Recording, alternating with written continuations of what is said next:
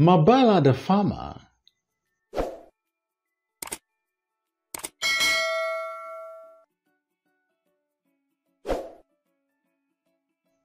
Chapter 1 Mabala Mabala was born in Dar es Salaam when Dar es Salaam was still a small town.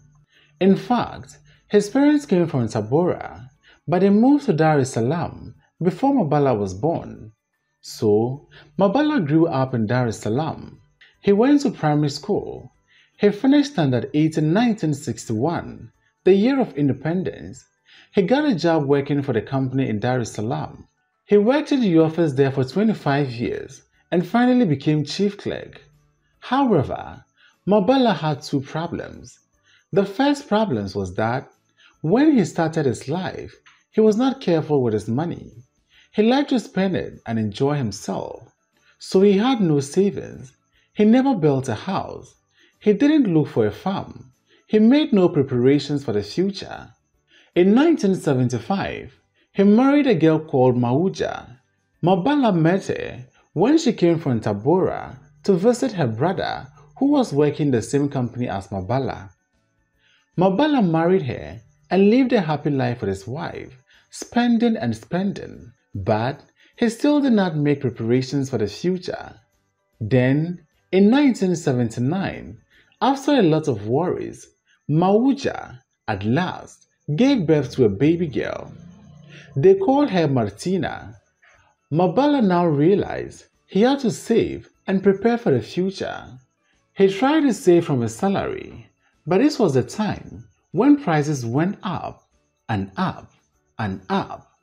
Mama Martina tried to help him by making masks and selling them, but still the prices went up.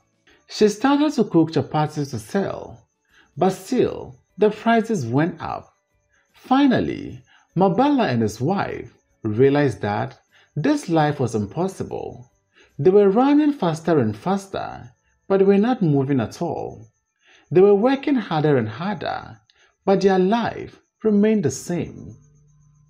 So, one day, Mabala and his wife sat down and discussed what to do. Martina was now ready to go to Standard 1, and they didn't even know how they would buy the uniform. This brings me to Mabala's second problem. My friend Mabala had a good heart. He was generous. He helped others. He worked hard, but he was stubborn. If he decided to do something, you could never change his mind. Even if you prove to him that he was wrong, he will not change his mind. His wife knew this. She realized that sometimes it was a waste of time to argue with him. Maybe this was because Mabala grew up without any relatives except his family. He was the only child. His father was also an only child, and his parents, Mabala's grandparents, had died soon after he moved to Dar es Salaam. Maybe here we can say that Mabala had a third problem, a problem which was not his fault. He had never lived in a village. He had never cultivated a farm. He did not know how hard the work was. He had listened to the radio and he had read books and he thought that life in the village was wonderful. So, one day, he called his wife and said to her, Mama Martina, we are doing nothing here in town. Let's go to the village. Life on the farm is easier than life in town. You wake up when you want to. You plant, you weed, you harvest, you eat. No problem. Mama Martina grew up in the village. She told him, Bwana, life on the farm is not easy. You have to work hard. Of course, if you work hard, you can have a good life, but you have to work very hard. That's not true, Mama Martina. You know it's not true. Let's go to the village. Maybe we can get a better life, said Mabala. But you will have to work hard. If we don't work hard, we will fail. Mama Martina insisted. Rubbish, said Mabala again. You dig, you plant, you weed, you eat, no problem. Mama Martina realized her husband was in a stubborn mood, so she told him, All right, but it is no good doing things too fast. I have some relatives in Morogoro. They tell me that there is a lot of land. Let me go and see them, and then the first year I will cultivate there while you continue to work here. If I succeed, you can resign next year and join me on the farm. Mabala agreed. So, that year, Mama Martina moved to her relatives in Morogoro. She got a farm of 10 acres. Of course, that year, she couldn't cultivate the whole farm, but she planted according to the instructions of the Bwana Shamba, and she used the fertilizer in the right way. So, she got 60 bags of maize. Now, 60 bags of maize was more than Mabala's salary for the whole year. So, they decided Mabala would resign and come and join his wife in the village, together with Martina. Mabala the Farmer Chapter 2 Mabala's first day on the farm. When Mabala arrived, he was still sure that life on the farm was easy. The harvest was finished and the peasants were resting for a short time before clearing their shambas again, ready for the rains. They found a place for Martina in the primary school, and Mabala spent this short time getting to know his neighbors and building a small temporary house for his family. It was a small friendly village, and he was quickly accepted by everyone. After all, they already knew his wife, so they all helped him to build his house it was soon time to start digging the shamba again. Mabala was always telling everyone that he was ready to work very hard. The first day, he told his wife to wake him up very early. She woke up at 5 o'clock. She prepared the bath water for her husband, cooked some porridge, and then she woke him. At least, she tried to wake him up, but he refused. It's too early, Mama Martina. You can't dig in the dark. You will cut off your foot. Mabala pulled up his sheet again and continued to sleep. His wife went to work in the shamba on her own. The ground was sandy and soft, and she was working well when her husband arrived at half past eight. Oh, Mama Martina, why didn't you wake me up? I told you, but I did wake you up. You refused to get out of bed, said Mama Martina. You didn't try hard enough, Mabala replied. Mama Martina didn't waste her time arguing. She went on digging. So, Mabala also started to work. They worked side by side. Mama Martina soon began to work ahead of her husband. One meter, two meters, three meters. Her husband's work got slower and slower. He was always stopping for a rest. He began to complain that his back was hurting. His legs are hurting. His arms are hurting. His hands are hurting. Mama Martina, why are you going so fast? There is no hurry. We don't have to finish the shamba today. Mama Martina didn't listen. She knew the rainy season was near. She knew the first rain with for planting. She wanted to finish all the cultivating before the rain started. Her husband continued to complain. Mama Martina, don't go so fast. That is not the way to farm at all. You will get too tired and then you won't be able to cultivate tomorrow. Mama Martina laughed. Her hair went up and down, up and down. Each time, it went down with a loud talk. Clouds of air surrounded her. Mabala watched her and sneezed. This dust is too much. We need a tractor, Mama Martina. Why don't we wait for the village tractor? The only answer was tuk, tuk, tuk. Mabala tried again. Mama Martina, haven't you brought any food to the shamba? I am hungry. You can't dig on empty stomach. Let's stop and eat. Then we'll dig much better. Tuk, tuk, tuk. Mama Martina said nothing, so Mabala started to work again. He worked for 15 minutes. That was enough for him. He called again. Mama Martina. Talk. Mama Martina! Took, took, took. Ah, that woman will kill herself for no reason, Mabala said. He put down his hoe and went to sit down under the nearby mango tree. Mabala the Farmer Chapter 3 Mabala has a rest. After sitting down, Mabala opened Mama Martina's basket to see if she had brought any food.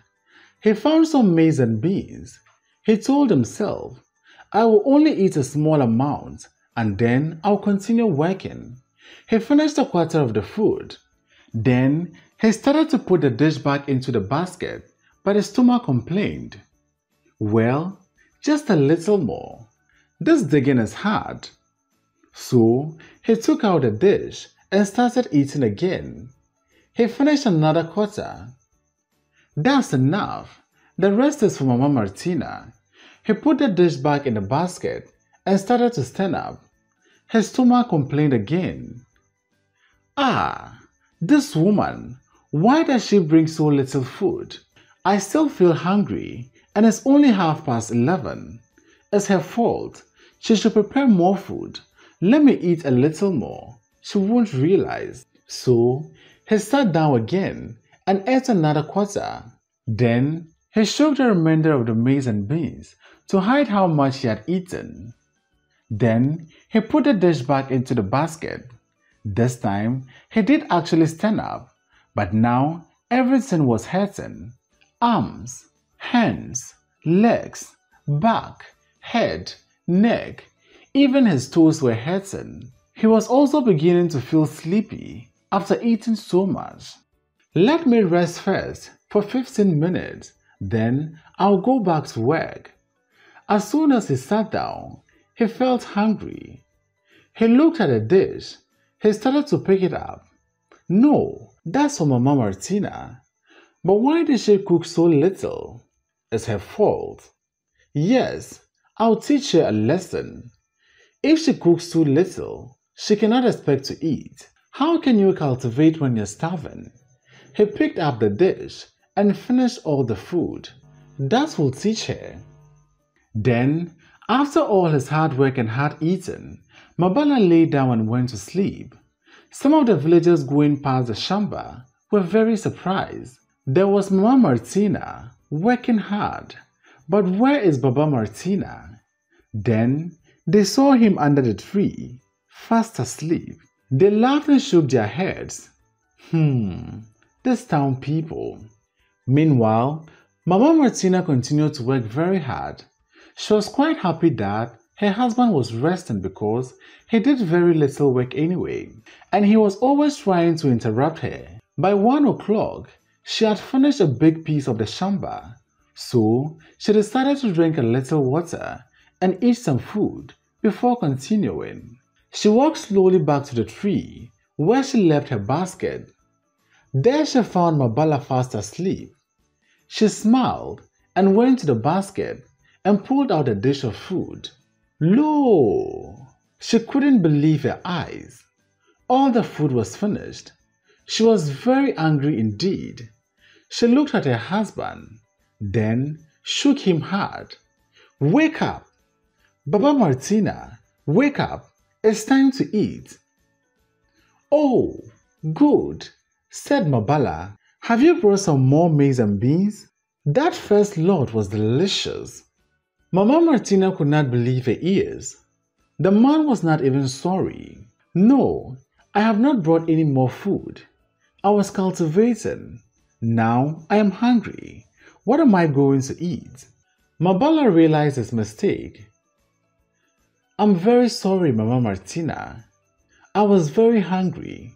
After all my hard work, I was so hungry that I couldn't stop myself. Let's finish work for today. Then you can cook some more food.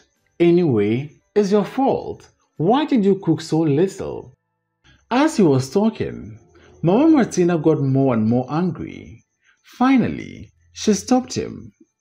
What are you talking about? I came here on my own last year. I did all the work myself. We got a good harvest. Now, you say you have come to help me. Is this helping me? Sleeping under the tree, eating all my food, telling me to go and cook some more? Ah! She was so angry that she could not continue speaking, but her eyes were full of anger. Mabala knew that look. He knew his wife. He also knew he was wrong.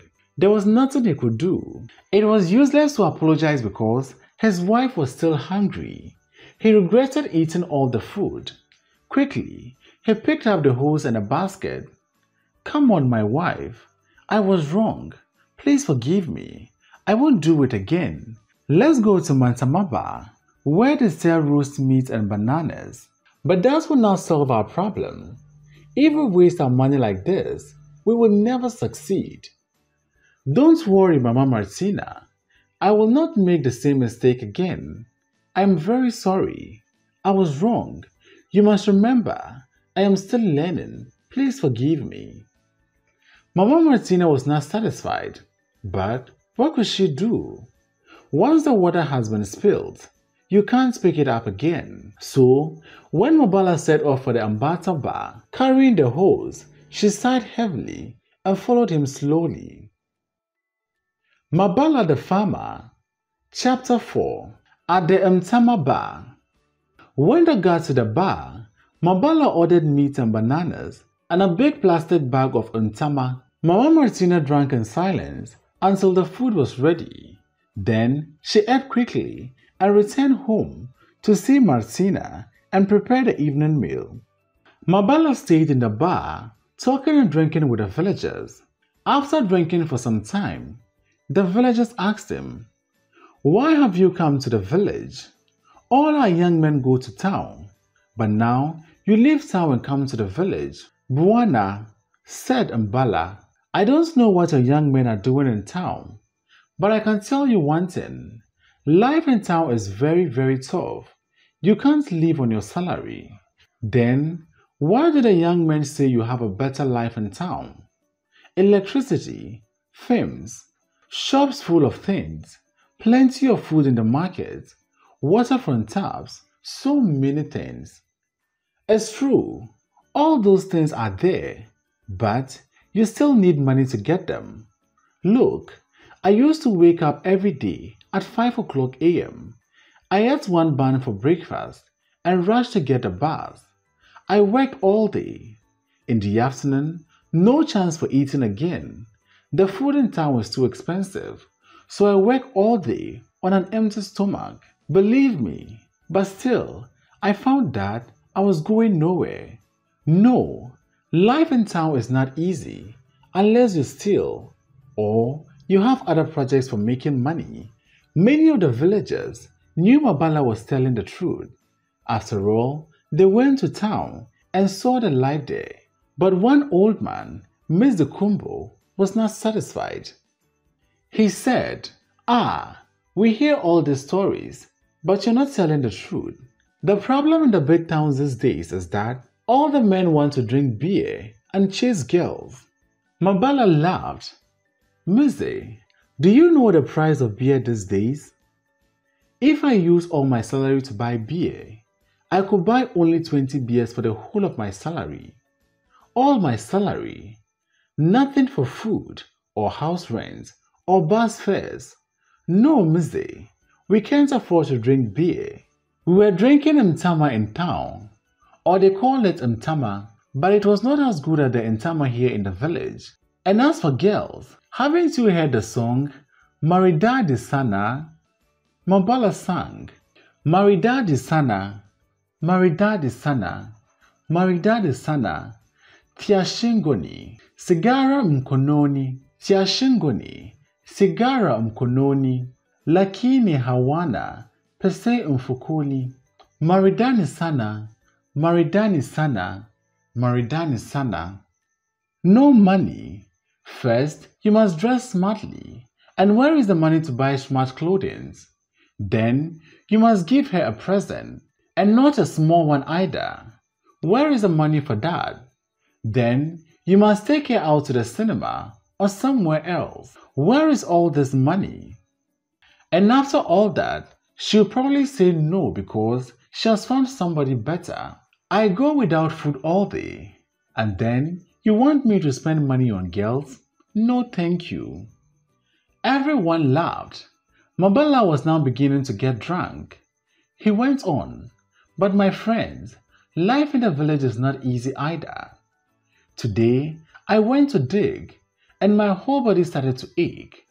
Headache, backache, leg ache. How do you do it? Oh, that's why we saw you fast asleep under the tree. So you thought farming was easy?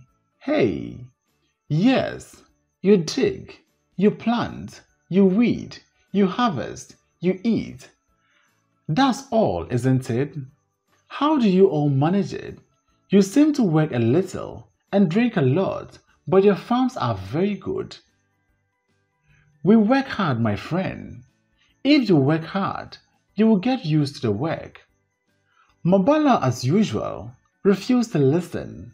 It's not true. Your wives do all the work. You men are just drinking. The men were amused by Mabala's words, but were also a bit hurt. They knew that a farming life is a tough one. It was not just drinking and talking. So they decided to teach Mabala a lesson that drinking and farming cannot be cooked in the same spot. They told Mabala, Your problem is that you don't work the right way. Ntama gives you strength to work. So, when you wake up in the morning, drink some Ntama instead of porridge. Take a gallon of Ntama to the farm with you. If you feel your back is starting to ache, drink a little Ntama. If your arm starts to ache, drink a little Ntama. If your legs start to ache, drink a little Ntama. And when your head starts to ache, lie down and rest for five minutes and you'll be fine. Is that really so? Asked Mabala. If you drink Ntama, you will work well? Yes, said the man. A hoe is not like a pen. It needs Ntama to keep it moving. That is the way we all work.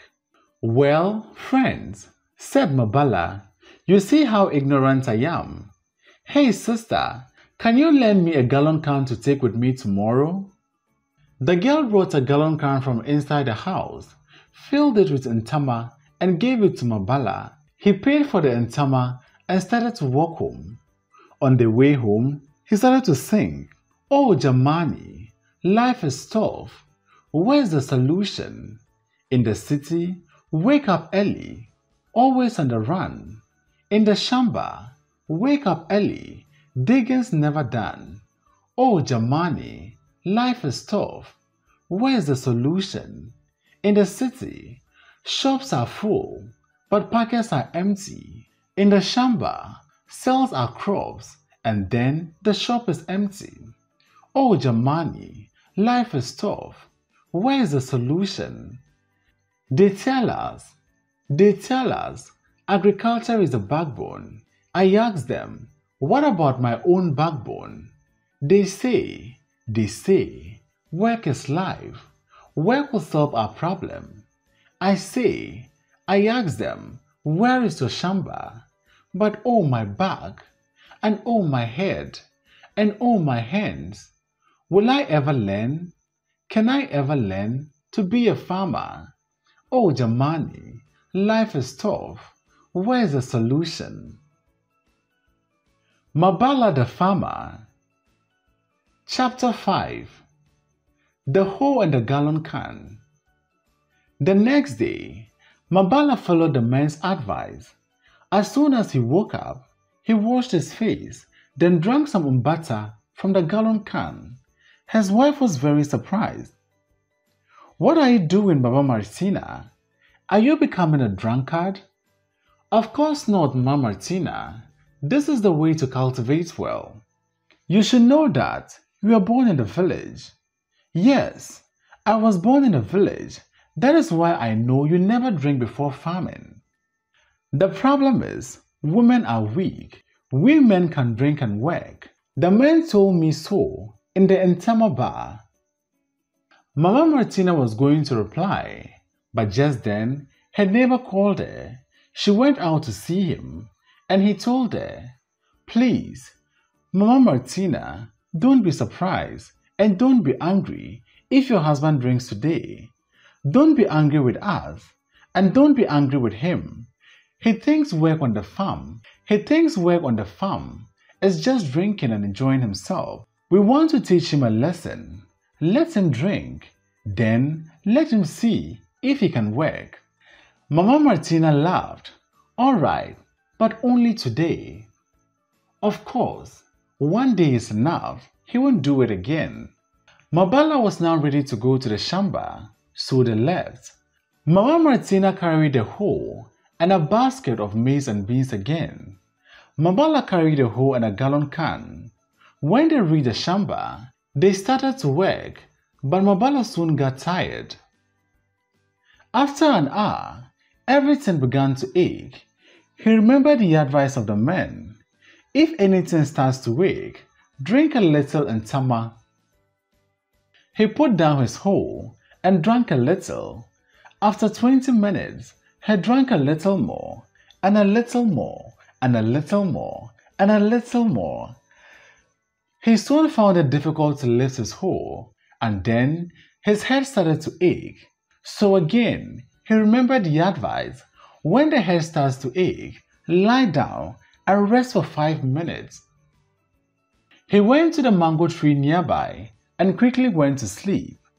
Mama Martina realized what was happening, but she said nothing. She just took her hoe and went on cultivating or weeding. When it was time for lunch, she went to the mango tree and found Mabala fast asleep. But in the basket, all the food was there. Mabala was snoring loudly. So Mama Martina shook him. Wake up, Baba Martina. It's time to eat. Wake up. Mabala did not reply. She shook him again. Wake up. You have slept for three hours.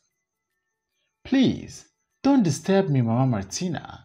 I'm just resting for a few minutes. A few minutes? It's one o'clock. Wake up and eat. Don't make jokes, woman. I've been asleep for a few minutes only. Look at the sun. Then, Mabala looked at the sun. He was shocked, but the man told me that if my head aches, I must lie down for a few minutes. Well, they were wrong. Now eat. When Mabala looked at the food, he didn't want to eat at all.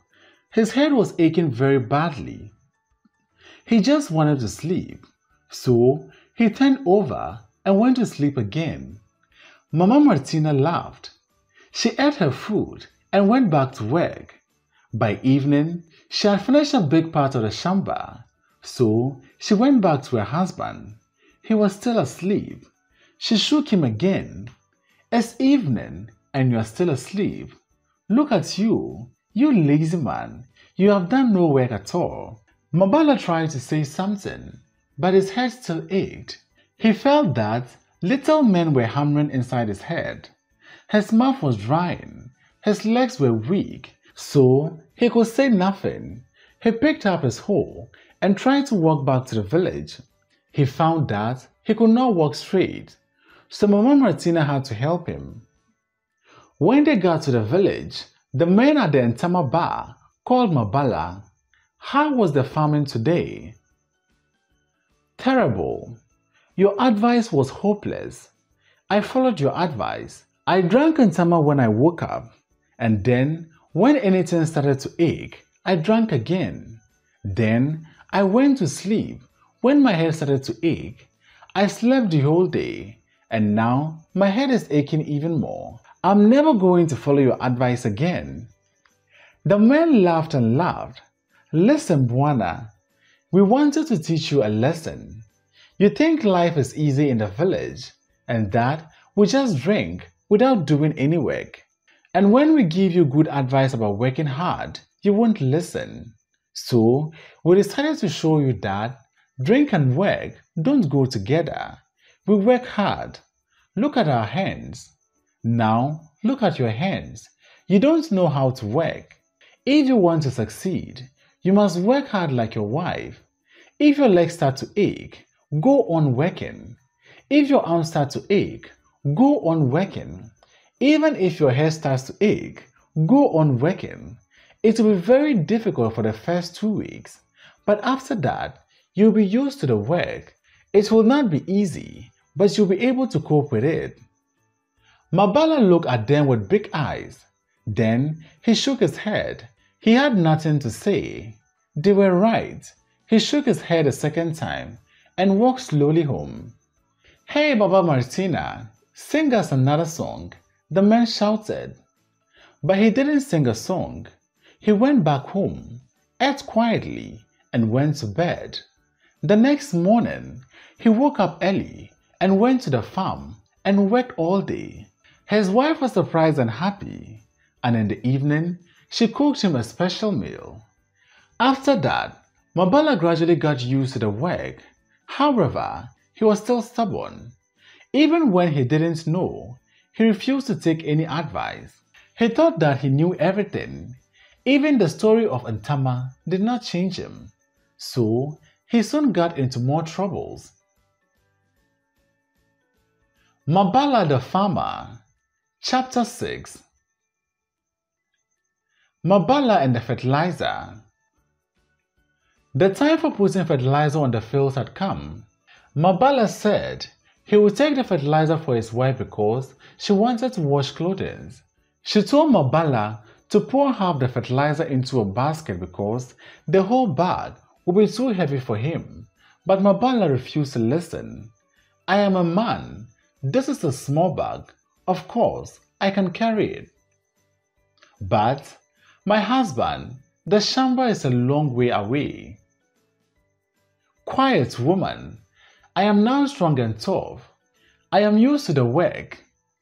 Well, in Kiswahili, they say that if a child cries for a razor blade, give it to him.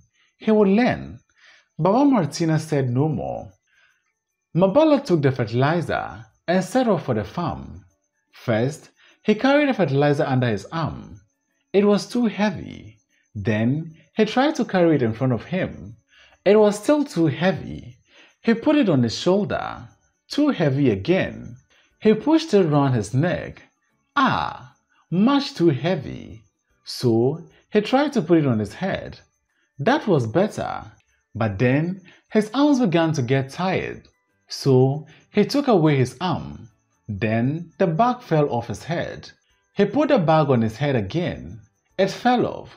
Soon, all the children of the village were following him. So, Mabala tried to carry the bag under his arm again. Still, too heavy. In front of him, too heavy. On the shoulder, too heavy. He put it on his head again. But as soon as he took his hand away, it fell off. All the children laughed. Now, Mabala did not want to fail in front of the children. He put the fertilizer on his head again. It fell off.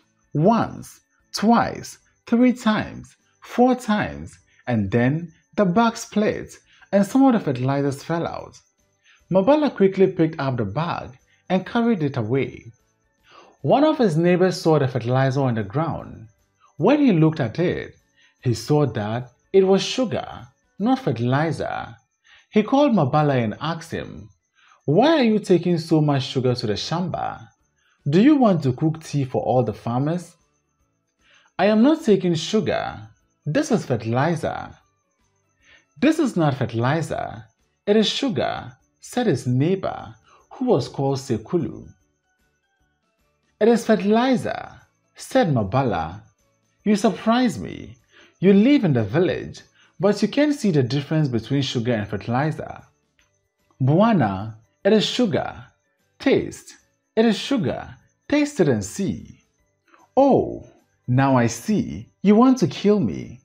If I eat fertilizer, I will die. No, don't waste your time anymore. I'm going to the shamba. Sekulu tried once more. You're wasting my time. I tell you, if you want to eat fertilizer, that is a problem. I'm going to put it on my farm. He picked up his bag and left. Sekulu ran to Mama Martina. When she heard the story, she left her clothing in the basket and ran to the farm. She found Mabala was just starting after the hard job of carrying the whole bag to the shamba. Oh, Mama Martina, have you finished washing the clothing already? No, I haven't.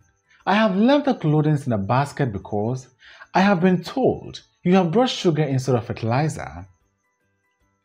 The same story, said Mabala. You have been talking to Sekulu, haven't you? Yes, I have. You should thank God for good neighbors like Sekulu. Look, can't you see that this is the bag of sugar you brought from Dar es Salaam when you moved here? Mama Martina picked out some of the fertilizer, ate it, and forced Mabala to taste it as well. Mabala had nothing to say again. He had to pick up the bag again, which now seemed to be even heavier, and carry it all the way back to their house. The next day, he went with his wife to put fertilizer on their maize. When they got to the field, Mama Martina went to one side and Mabala went to the other side of the farm. Fortunately, after a short while, Mama Martina looked in the direction of her husband. She realized that he was putting fertilizer in the middle of each maize plant. Instead of rounded, she ran over to him. Baba Martina, you are making a mistake. Don't put the fertilizer on the maize plant. Why not? We want the maize to grow, don't we? If we put the fertilizer on the maize plant, it will grow faster. It won't grow faster, it will die. You must put the fertilizer on the maize plant. No, no, no, that's rubbish. This time I am right. It is obvious that you should put the fertilizer on the maize.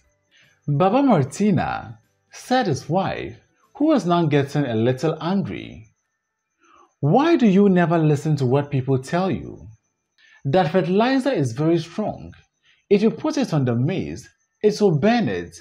The maize will go yellow and die. What do you mean I never listen to anyone? I am reading books about agriculture these days. I want to farm scientifically, not like the old days. Of course, I also want to farm scientifically. And according to science, don't put the fertilizer on the maize. Mabala also got angry. The trouble with you, Mama Martina, is that you think you know everything just because you grew up in a village. You don't know everything. If you put fertilizer around a plant, it will go straight into the ground and the plant will get nothing. Can the plant walk to pick out the fertilizer? No, I am going to feed the plant direct. Mama Martina didn't know what to say. Her husband was so stubborn. Finally, she said, All right, Baba Martina, we want to be scientific, don't we? Let's do an experiment. You put fertilizer on the maize for the two rows of maize. I will finish the rest of the field in the same way that I cultivated last year. Then we will see who is right. Mabala agreed, took the fertilizer, and carefully put some of it in the middle of the maize plant. Unfortunately for him, Sekulu was walking past the field when he was arguing with his wife. When he told the other villagers, they all laughed, and soon a new song was heard in the village about Bwana Hambikiliki, Mr. Never Told. Once upon a time, there was a farmer, a farmer, a farmer, a farmer full of strange and new ideas.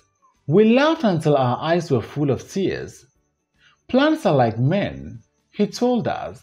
They like a cup of tea from time to time. So give them sugar. Give them sugar.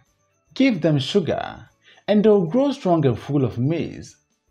Oh, we told him, we told him, we told him, but his ears were blocked. Mr. Never Told would never listen. We took the sugar and put it in our tea. He put it in the maize, and sad to say, the plant never said thank you. Instead, they fell down dead. Stupid plants, he cried. They don't know how to live at all. Oh, Mr. Never Told, when will you ever learn? Plants are hungry, he said. Their leaves are open like mouths. So give them food. Give them food. give them food, pour it down their throats, put it on the ground. They can't walk to pick it up. Oh, we told him.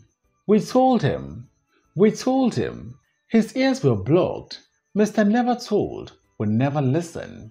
He took the food, he poured it down their throat, and started to say, The plants never said thank you. Instead, they fell down dead. Stupid plants, he said. They don't know how to live at all. Oh, Mr. Never Told, when will you ever listen? What new ideas are these? And more are coming, we hear. Seeds gets lonely, he says. They would like to be planted together. So plant five seeds in each hole. In each hole, in each hole, they will grow together. Oh, we tell him, we tell him, we tell him, but his ears are blocked. Mr. Never Told will never listen. When will he ever learn? When Mama Martina heard the song, it was the last straw. She decided that she had suffered enough. That evening, she asked her husband, Have you heard the song they are singing about you in the village? What song? Bwana Hambiliki. The song is all about sugar instead of fertilizer and putting fertilizer in the plants. Mabala laughed. They are just jealous because I know more than them. What? said Mama Martina. Jealous? They are laughing at you because you know nothing about farming and you refuse to learn. That's not true. I read, I think, I try new ideas. Not like all of you. You farm the same way every year. Yes, and we are eating all because of it. It is not true that we don't change. If the Bwana Shamba shows us new ideas which work, we follow them. He knows what he is talking about. No, you are wrong. You just laugh at me because I come from town. But you wait, I'll show you my ideas are right. If you want to do that, said Mama Martina, then go and find your own farm. I have had enough. People are laughing at you. They are laughing at me because I am your wife. They are laughing at Martina when she goes to school so that she doesn't want to go to school anymore. Why are they laughing? It is not because you don't know. There are many things which we don't know, but you refuse to listen to people who do know. Mabala started to speak to his wife, but his wife went on, No, let me finish. I've had enough. I have tried to put up with you and teach you, but you won't listen. So, either you go back to town and leave us here, or you find a job here in the village. But if you come to the farm again, I will leave you. Look at all the maize in this house. I grew it without your help. Now you want to destroy our fields and destroy our name as well. What kind of pride is this? You think that just because you are born in town, you know everything, but you know nothing. Nothing. Mama Martina started to cry. Mabala tried to talk to her, but she kept on saying, If you come to the Shamba again, I am leaving. Actually, Mabala had already heard the song. After hearing it, he had gone to the Shamba. He had seen that all the maize in the two rows of his was yellow and dying, while the rest of the maize was dark green and healthy. He had nothing to say his wife was right, and the truth hurts. Mabala the Farmer, Chapter 7 Mabala wins respect. Fortunately for Mabala, the village had no accountant, so there were a lot of problems with the accounts of the village. The next day, Mabala went to the village chairman and offered to help with the accounts. The chairman agreed and Mabala tried to write the accounts properly for all the village activities. When the villagers saw it, they started to make more jokes. Oh, Mr. Mabala, have you ordered the sacks of sugar for the maize? Are the books lonely? And many other comments. Mabala said nothing. He was determined to prove to his wife and all the village that he could do something useful for the village. He worked all day He even gave up drinking because he was working at night. Soon, the villagers began to realize that the accounts of the village were in good order. In fact, one of the shop assistants had to run away because he realized that Mabala would catch him. The shop was now full of things to buy. Everything was ordered in good time. The building program was written out properly so everyone could understand. By harvest time, people had stopped laughing at him. They were grateful for his good work. His wife also saw the change in him. She was now happy. People now praised her husband. And Martina was happy at school because the children were not laughing at her anymore. At harvest time, Mama Martina allowed her husband back into the field. They harvested together. It was a very good harvest, except of course for Mabala's two rolls, and they had to hire a pickup to carry all the maize back to their house. That evening, they sat talking before they went to bed. Mabala joked with his wife. You see, I told you, life is easy. You dig, you plant, you weed, you harvest, you eat. No problem. Look at all this maize. Mama Martina smiled, but I am sure you understand now that it is hard work. Oh, yes, I do. But now I am ready to work. You should let me back to the shamba. I have learnt my lesson. I am reading a lot of books about agriculture. Mama Martina smiled again. Books are not enough, Mama Martina. You must listen to the farmers themselves and watch what they do. They are experts. They have been farming for years. It is true, said Mabala, but still, a few ideas are good. Of course, agreed his wife, but not the ideas you had before. They both laughed.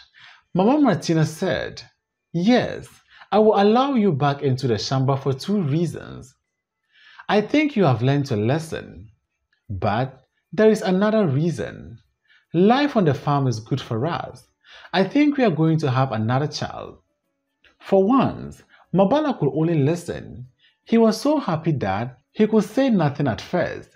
Martina was now nine years old and she was their only child.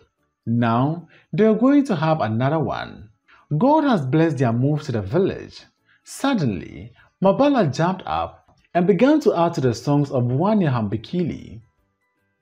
Suddenly, Mabala jumped up and began to add to the song of Wana Hambikili.